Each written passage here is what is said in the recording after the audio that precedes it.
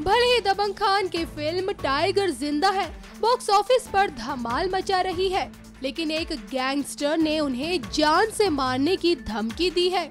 या फिर जो कहें कि जोधपुर हिरन शिकार का मामला सलमान के दामन से जैसे चिपक ही गया हो।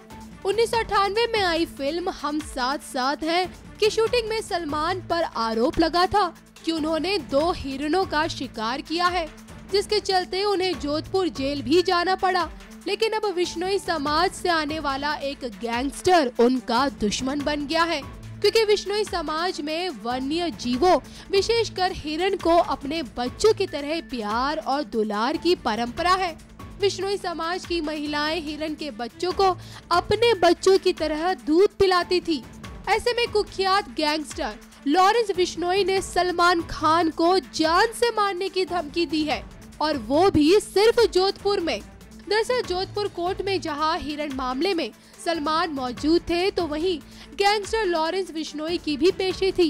इस बीच मीडिया से बातचीत करते हुए उन्होंने सलमान को जान से मारने की धमकी दे डाली।